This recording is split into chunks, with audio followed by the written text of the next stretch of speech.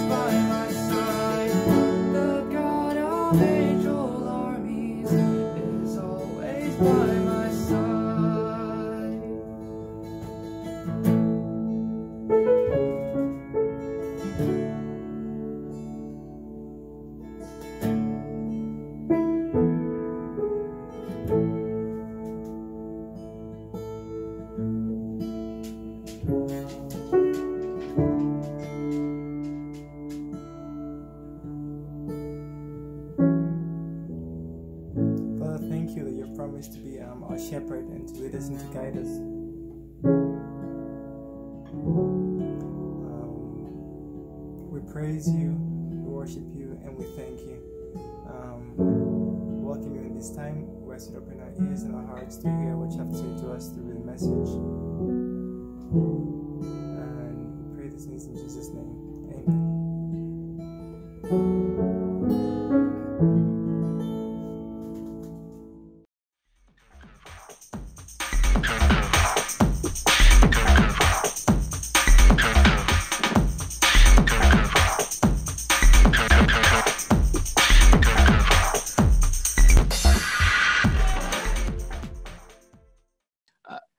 Welcome, everybody. It's so good to have you with us. I'm here with a long term friend and actual alumnus of the ministry, who I'm going to call D, uh, because D serves as a missionary in a country where that fact would not be favorably looked upon.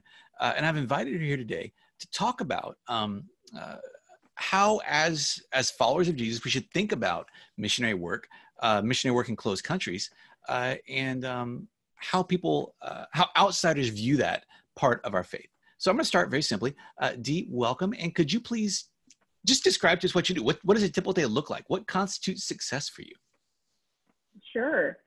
Um, so one of the main things of being here is I have like a, we call it a platform. It's the reason that I can come and be here in this country. It's the job that I do here. And so that's what most people here would identify me as. Um, so I spend, you know, like several hours a day engaged in that kind of work. Um, fortunately, because my boss is like-minded and also knows that I'm here to do ministry, those hours, you know, we don't, it's, I'm not working a 40 hour week doing that, which gives me the freedom and flexibility to do some other things that I consider important being here.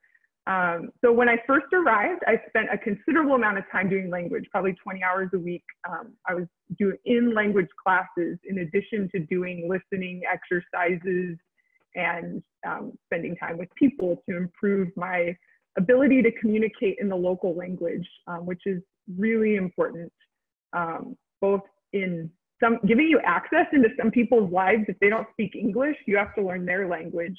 And also being able to communicate the good news about Jesus in their heart language. That it's not coming from they don't have to they don't have to learn something to accept the gospel. Like it's my responsibility to learn to communicate it in a way that they can understand.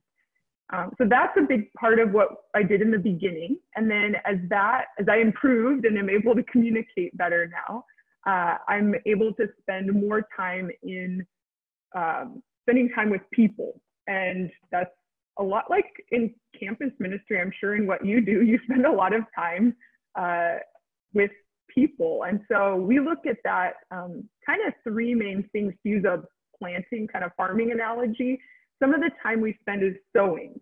So that's the casual hangout, the getting together with people and looking for opportunities, of course, to share Jesus, but also getting to know them and just building trust, hearing where they're at, seeing is this someone who's interested when I share something about Jesus? Do they have questions or are they closed off, um, trying to discern where someone's at in their spiritual journey and how I can sow into their life seeds of truth of God's word or something from my personal testimony.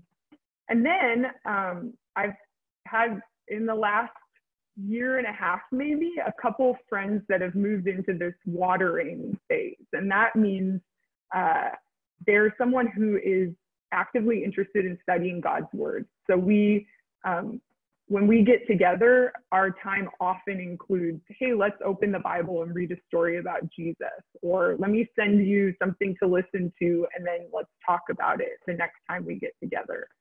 Um, and then there are a few people that our team is in contact with who have made the next step to like reaping. So there's someone who has made a decision to follow Jesus um, and be baptized. That's a very significant part of someone's spiritual journey here that really indicates like I've thought through, it's not just words that I'm saying, I want to show with my actions that I am embracing Jesus as my savior. And so um, that can look, sometimes you go into those, especially the sowing part, and it can look kind of awkward if you're getting to know people. Um, I'm new here, new-ish relatively, you know, compared to people who've lived their whole life here. So I'm trying to establish like who is my circle of friends and um, and it can also look fun. It's I get to spend time like hanging out with people and not work. Um, so obviously, I'm looking for who we want to move farther, who's ready to move farther along in that journey. It's not me moving them. Um, so that's big parts of it. And then also, I'm here as part of a team. I'm not alone, and so we make specific times, a couple times a week, to meet together and pray. Um, we need like prayer is part of our work here to pray over the things that we see and know, and also pray over the spiritual environment. Um, and then also meeting as our team for fellowship and kind of our church meeting is really a house church that uh, meets together here. So, are you or are your converts in any actual danger, like physical danger, or is it more social ostracism? What are some of the challenges you face in that regard? Sure. Um, I feel like the dangers, if you want to call it, for myself or someone from the outside are very different from someone that is in the community here. Um, because for me, the main thing would be the reason why, for example, I don't want to show my face here is because I could get kicked out of the country and not allowed to come back in and continue work here. So I'm just trying to, you know, be careful about what I share online because anyone could stumble upon it. Um, for people here, it's not so much of a um, institutional kind of thing that will happen, like they'll get thrown in prison, but the family persecution. Um, there's people who have been physically harmed, killed, um, thrown out of their home, cut off from all financial support, you know, things like that are more the real realities facing someone who decides to follow Jesus here. Um, so, and in most, I would say here it more comes from family than from friends or people outside of their immediate family. And then another thing you mentioned uh, that I did want to address is what does success look like? And actually, I often uh, share something that you shared uh, that has stuck with me, which is um, coming from you know what I trained to do, where there's very tangible results. And I remember you gave the example of like coding, programming, you know, and writing certain number of lines of computer code. It's really easy to quantify what you accomplished that day, even. Or for a writer, like yeah, what you wrote. But for someone whose main job is relationally working with people, sharing with them, discipling them. Sometimes the growth, it doesn't, you you get through a day and you're like, what did I accomplish? And so um, I think the thing was the thing that you said was like, well, having being available for God to use in those discussions with people is what really matters. And like you might not see the results of that conversation until sometime later in their life, but it is important work that we're doing and it's a mindset shift to go from producing output to like investing in relationships over the long term. So I don't know if you remember saying that or have anything to add to it, but I certainly uh, feel that here. And it's something God's had to work in me to go, okay, it's not about your physical output that you're putting out into the world, but it's about the relationships you're investing in. So I do remember that. I've actually, I don't know if you you may not realize this. I actually wrote a whole essay about that for myself uh, back in the day that I share with our ministry trainees. I'll put the link uh, in the chat bar for anybody who's curious about um, how you can quantify um, or think about productivity. I suppose is a better way to put it in terms of your your your gospel life, your your serving of the Lord. Um, that's so touching. I'm really encouraged to hear that. Um, so, Dee, when did you first begin to suspect that God was calling you into missionary work? Um, that would be at a Stanford Chi Alpha meeting. uh, there was, when I was a student there and nearing graduation, uh, there was a week where you invited two groups to come in at the same time. One was a group that talked about um, the biblical basis for mission. So they went through a lot of scriptures, um, you know, like Matthew 28, 18 to 20, the Great Commission, go into all the world and preach the good news um, and some other ones, just looking how it's all through scripture, how God wants us to share his message widely and broadly. Um, so that, and then they also said there's some reasons, and they listed four main reasons why people don't consider overseas work themselves. Um, money, how am I going to finance that? Family, what's my family going to say? Or they wouldn't, I know they wouldn't support that maybe if they're not believers in Jesus. Um, how am I going to get married if I go move to some foreign country? And finally, people who say, I'm willing to go, but I'm just not called to do that. However, they've never truly asked God what he wants from them. And that was the category I fit into. The other ones, yes, I felt those concerns about the money, about the family, about the um, really marriage. I felt those, but the fourth one really hit me in my heart. And so I did nothing about it. So then this other person came and talked uh, to our large group and really challenged us. Um, she spoke from Hebrews chapter 11 about Abraham and people like him who lived in faith and didn't even receive the things that God promised them um, in their life, but it it indicated like it talks about kind of this greater storyline of how God's working, um, and specifically said that these people um, didn't, they were looking forward to a heavenly homeland. They didn't think about the place that they had come from. And this idea of like my citizenship being in heaven and then being willing to go wherever God might send me, that's what caused me to go back to my dorm room that night and ask God, um, do you want me to be a missionary? And I was really scared what he might say. And he changed my heart that night. So the answer didn't come like yes or no. The answer came inside where I said, I want to be a missionary. And just that it's if God did call me to do that, and I didn't know that at the time, it took me about eight years till I first went overseas after that, um, or six six years maybe. Um, but it did spark something that not this isn't something to run away from or avoid if god's calling me to do this it's something to like embrace and to explore with him that's a beautiful story i'm so encouraged to hear it and second um, you brought up something that i'd like to touch on for just a moment uh, you you had this this this buffer period this gap between where you first sort of felt the call but then you graduated and you began you got a job in your field um, and you worked for several years and then you were actually uh, able to launch uh, over this over the oceans. You actually uh, first served in, in one country, and now you've relocated to your final destination. Um, I think that probably many people who are listening think that if God were to call them to do something, it would just be okay. You're here at Stanford, and now go here to this other place you're supposed to be, and then we will just start you off tomorrow, uh, and you will have instant relationship and context and support and community be fruitful from, from day one could you talk about the process and and like i'm assuming you didn't feel disobedient in the process you were stepping along as god was leading you each step of the way Yeah, that's really true. Um, I asked God, like, do you want me to do this right now? And did feel very clearly like even some practical reasons, like I didn't know it at the time, but a lot of organizations that send people look at your student loan debt and they won't send you if your student loan debt is over a certain amount or your payments.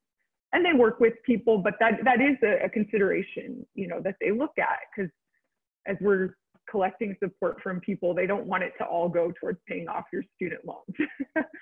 um, and so I had, so I was like, well, I need to work to pay those off. That's a responsibility that I have. Um, and so I was able to do that. Um, but I also then said, okay, what's next? I felt this stirring in me. I have this desire now. What's next? And so I went on a short-term trip with my church. I was, I didn't, I was like, where are you going? I didn't have a region. I was just like, where's the next trip? I'm on it. Um, and then while I was on that trip, I was like, okay, God, is this the place you want me to be long term? Um, and I felt like he said, no, not here and not yet. And then he started putting things on my heart and mind to, that I was supposed to do back um, in my hometown. So he put people on my heart, like extended family members that I felt like, oh, I need to reach out to them and start sharing more with them, or um, people that I worked with, or you know, being more intentional about praying for opportunities um, to, with my coworkers that I would find, you know, times where I could share with them about Jesus, and that they would know I'm not just a good person, but that I'm a follower of Jesus.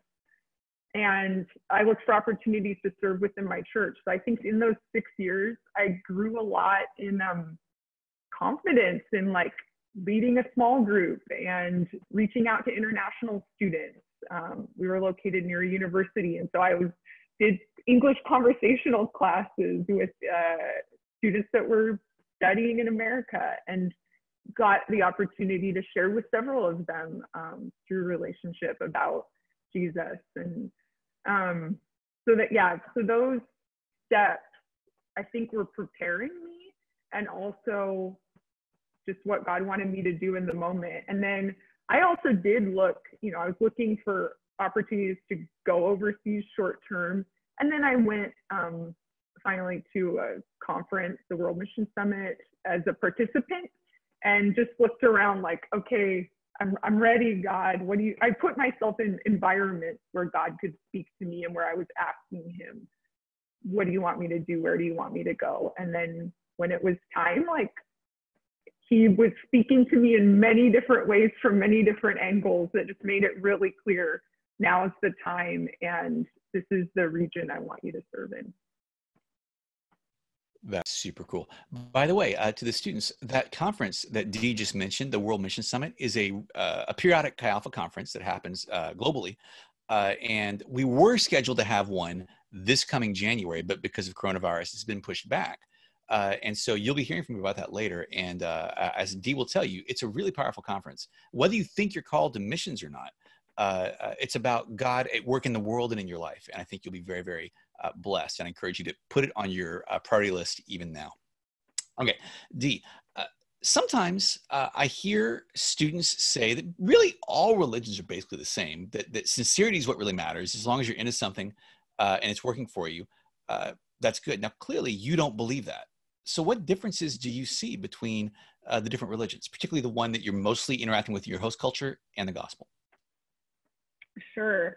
Well, um, I've had friends here try to tell me, oh, we're basically the same. Um, and I, I think it's coming from like a good place in their heart of like, oh, like I like you, I respect you, you know, I, I want to have, have like peaceful, good interactions but I don't, I actually don't like those conversations. And when someone makes a statement like that, I, not in an argumentative way, but in a loving kind of way, want to bring up some of the differences. And I do that not by like attacking what they believe, but by making statements that I know they won't agree with. So, you know, if I say, oh, I believe that Jesus is the only way to God, oh, yeah, I don't believe that. And so I said, so we're not really the same.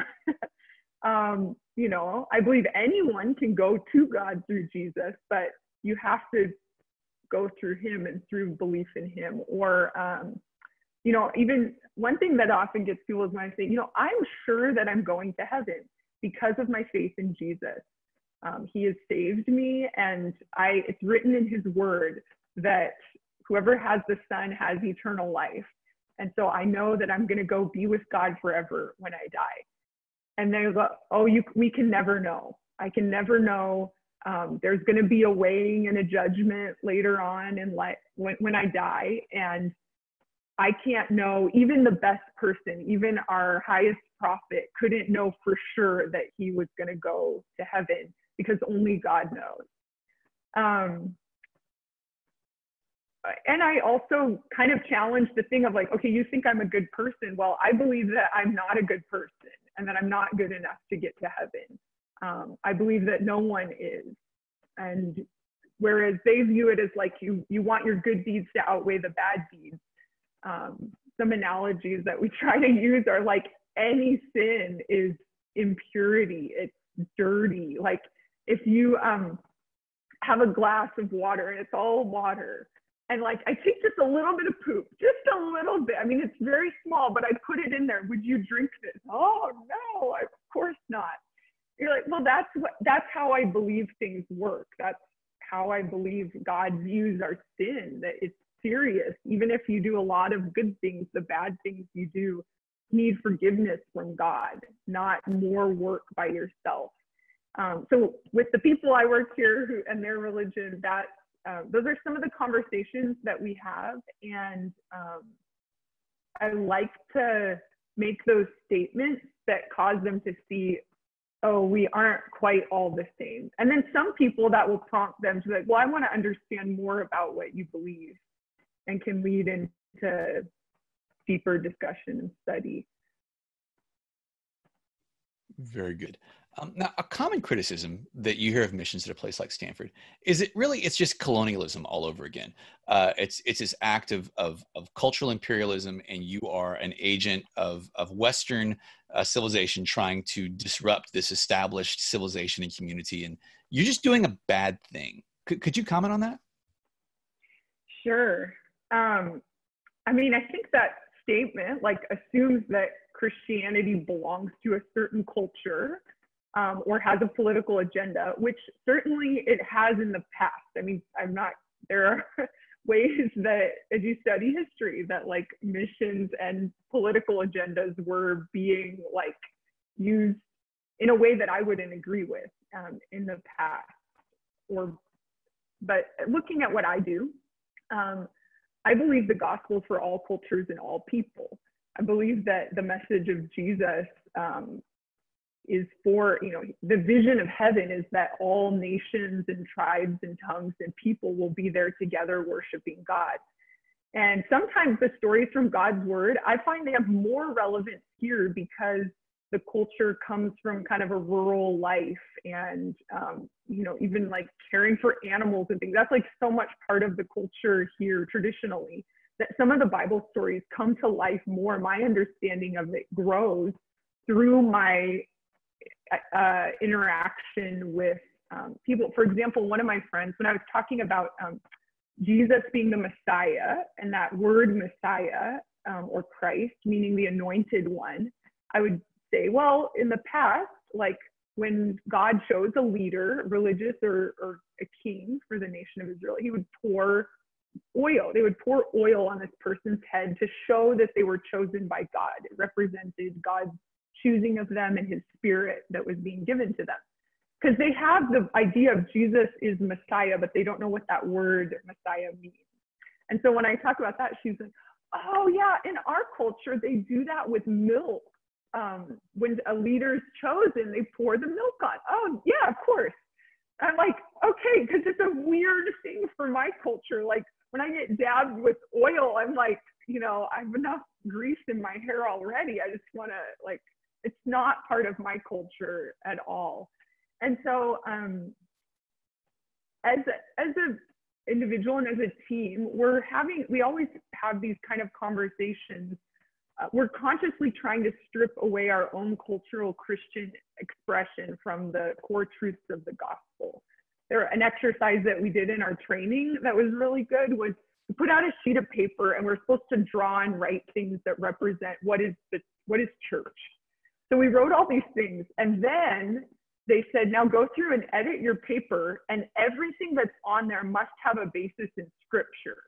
And so you start going, well, the instruments we use are cultural, and the way our buildings, even the fact that we build another building to meet in, is a cultural thing that works for us, but doesn't, might not necessarily work in another culture. Um, even the way of maybe your church chooses leadership or something, that's not mandated um, by scripture the the process of choosing leaders you know it could like by voting or something like and there's a lot of, there's different um, things that i try that i'm consciously trying to like unlearn or or not transmit to someone else and and part of that is the reason why learning language is really important i want to as much as possible like present the truth about the gospel in the heart language of the person that I'm sharing with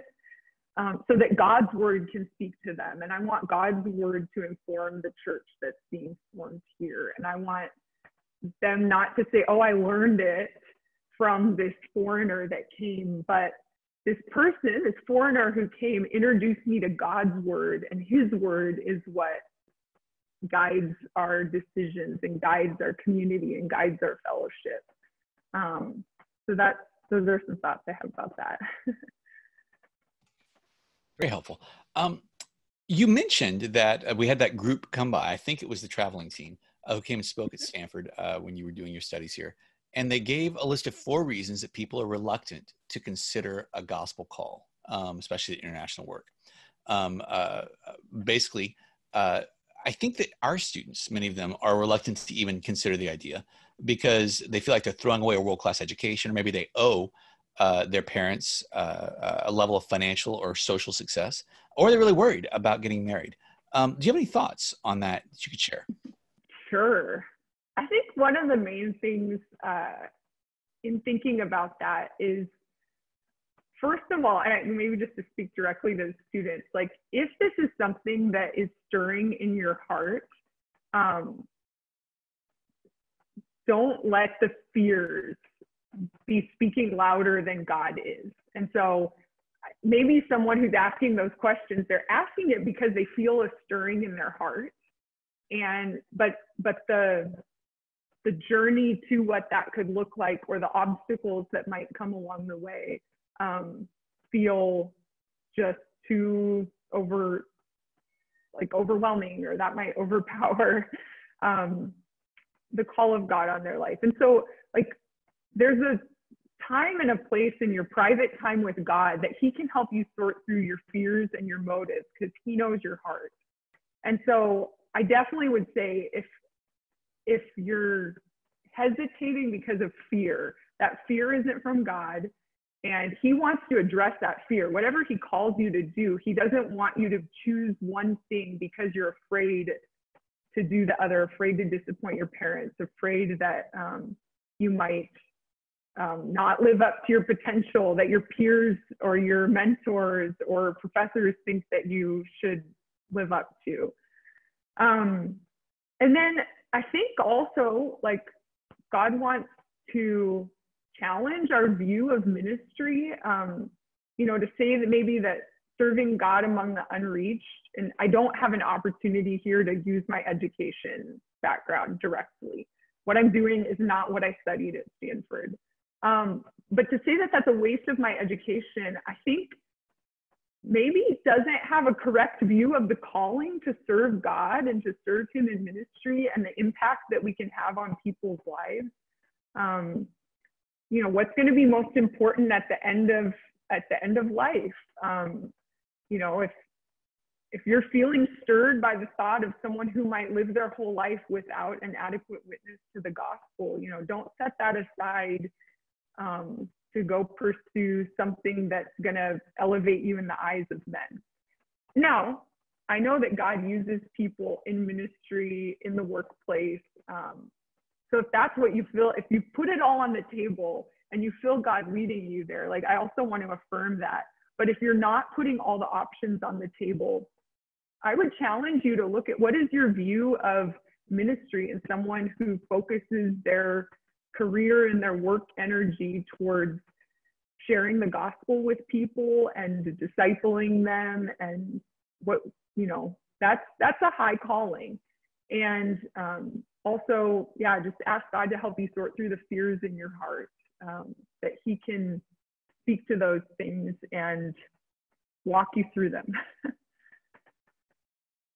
So uh, if you had a time machine is there anything you'd like to go back and say to uh, d back in college uh, either your undergrad or your grad school days something you wish you had realized back then that took you a while to clue into Sure. One thing in light of the work that I do now, um, I mean, I was part of Chi Alpha. I was looking for opportunities to share my faith, um, but I was most comfortable sharing my faith with people that were very similar to me, that came from a similar background, or maybe, you know, were like a lapsed Christian. I felt like it was easier to share with the person that kind of knew in their heart they were disobeying God and like bring, you know, let's work to move you back closer to God. And I was honestly had a lot of fear in talking to people that were from other religions. I was afraid they would ask questions I didn't know the answer to. I was afraid I would offend them maybe if we started talking about that.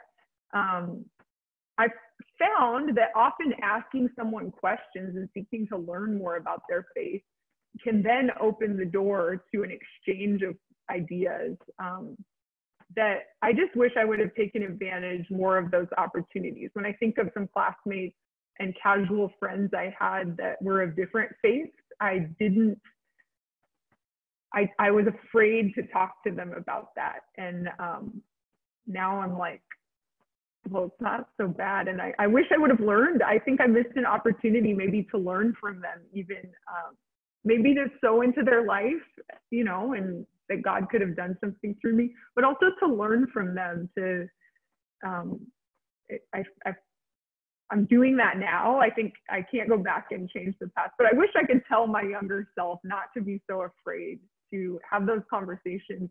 People really often can see your heart when you're coming at it, whether you're coming to argue or you're coming to seek to understand and love them. Um, so that's one thing. uh, I hope you heard that. Uh, that D, uh, while a student, uh, was not uh, taking the campus by storm for the gospel, was not at every turn just preaching the word, seeing whole dorms come to Christ. Uh, she was living a life just like you. and God was able to intersect that in a powerful way. Um, and you did bear good fruit at Stanford. I think you know that. but um, you've, you've, you've gone on to do even greater things. Um, and like I tell people pretty often, uh, if you if you look at Stanford as a high point of your life and it's all downhill from here, you have a very sad life. Uh, you go from glory to glory. And so I look forward uh, to seeing what all of you do over decades to come. Uh, Dee, as we conclude, uh, how can we pray for you? Sure. Oh man, I could use a lot of prayer. I mean, uh, the reality of the situation here, you know, and the people group I serve among is there are few believers, and many of those who do, of those who do come to faith in Christ, a lot of them feel fear and even telling one other person outside of it's easier to share with a foreigner because I'm not part of your community and the risk is much smaller, you know. Um, and so, I mean, for me personally, like I want to grow in my sensitivity to what the Holy Spirit's doing. Our team's been talking a lot about that lately the Holy Spirit and His work, and um, acknowledging, honestly, like the two friends I told you about who I'm able to share with really clearly. They want to read the Bible together, they're asking good questions and kind of wrestling through, like, what do I believe? I'm open to hearing about something else out there different from what I was raised in. Um, those are totally like the Holy Spirit opened those doors. Like I didn't shove my way in, but after knowing them for a while, they felt enough trust to ask some questions and so I just I'm praying for more of those opportunities. I, I think there's more of those people out there. If I'm just one person and in the last couple years I've met two people that are interested, like there must be more out there in this country. and I want to, I need God's help to find them uh, and to connect with them. And I want the words that I say to be moving like in step with the Spirit, like in partnership with what He's doing. And so um, you can just pray for me for like uh, greater sensitivity and leading from the Holy Spirit uh, as I share with people and spend time with them. Um, and then you can pray for um, boldness for believers here. Um, several, a couple of people we know who do follow Jesus have not received the baptism of the Holy Spirit um, as described in the book of Acts. They've read those passages and seen like okay, there's some pretty cool stuff that God does through his Holy Spirit. I haven't experienced that yet, and I want to. Um, and so uh, I just, they're asking for it. They're asking for more of God's Spirit. And it says that um, you'll receive power when the Holy Spirit comes on you and be my witnesses in Jerusalem, Judea, Samaria, and to the ends of the earth. That's what it says in Acts 1.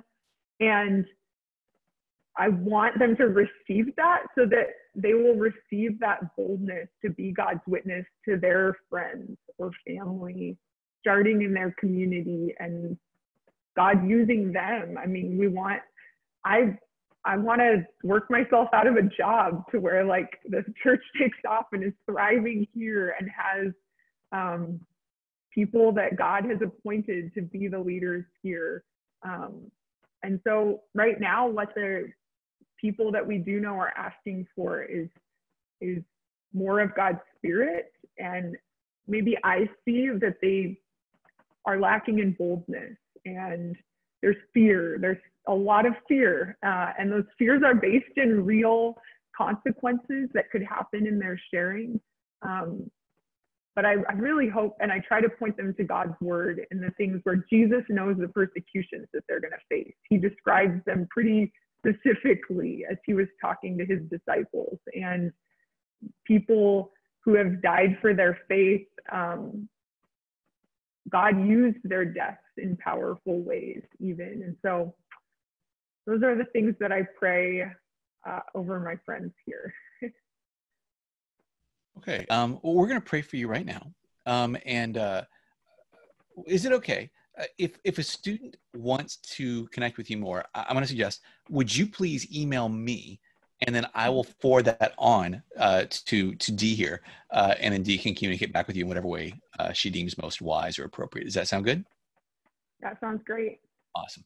Uh, God, we bless um, our friend Dee. Um, you brought her from Stanford to around the world where she is serving you in a new context, a different place.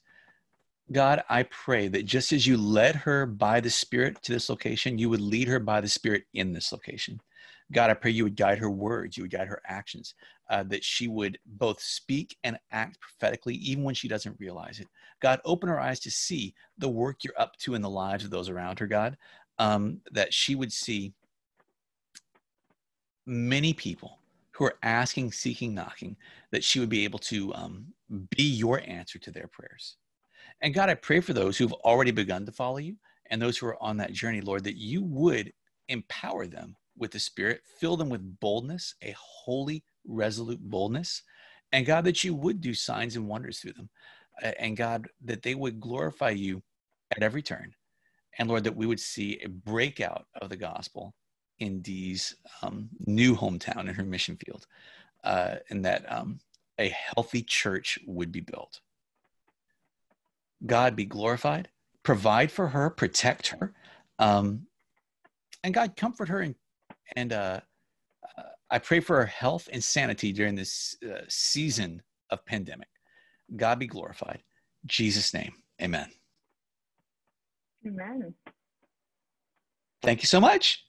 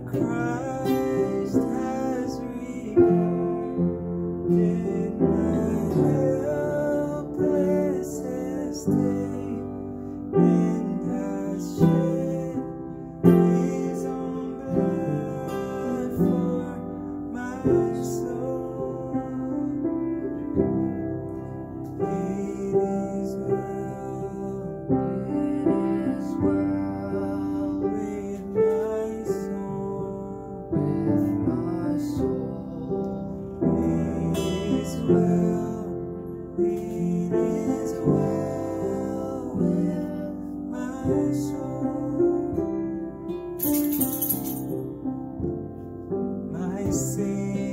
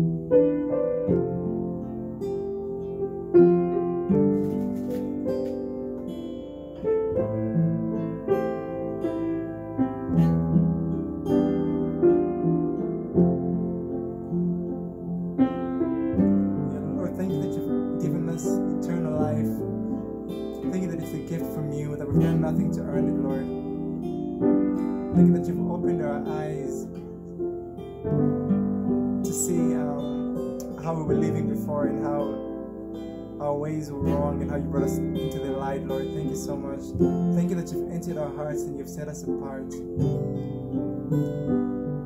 Thank you that you live inside of us and and you, sh- you shed light on, on, um, just on our lives every day and you lead us and you guide us, Lord.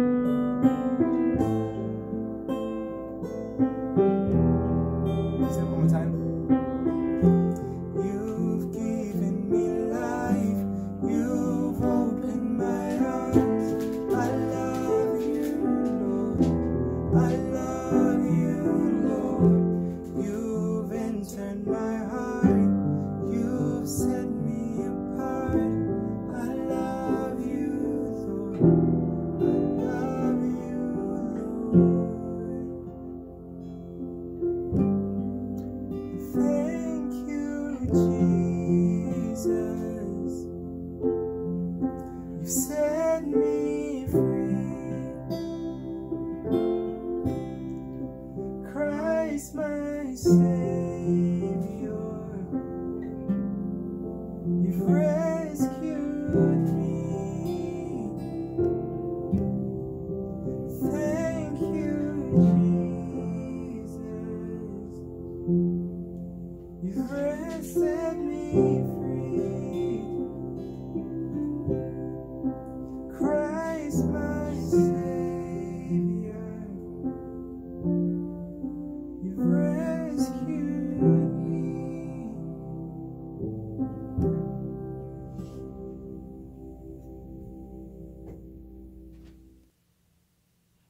Lord bless you and keep you.